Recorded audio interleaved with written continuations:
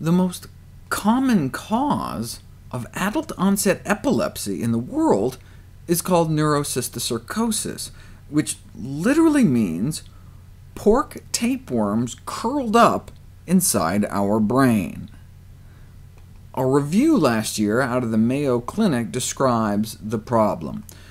Cysticerci, meaning the pork tapeworm larvae, create cavities in the human brain and other body tissue where their tiny bodies grow, sometimes into tapeworms 2 to 7 meters in length, and can live up to 25 years in the human body.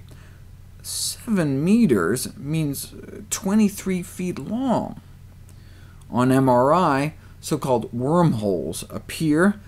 On CT scan, there can be so many in the brain at one time, it can appear similar to a starry sky. Each star is a fluid-filled cyst with the beginning of a living, growing tapeworm inside. This is what they look like on autopsy. This is what their face looks like. They have these rings of hooks to, to grab onto our brain tissue. Earlier this year, a review was published by the CDC on the public health implications of cysticercosis acquired in the United States. Pork tapeworms on the brain has emerged as a cause of severe neurologic disease in the United States.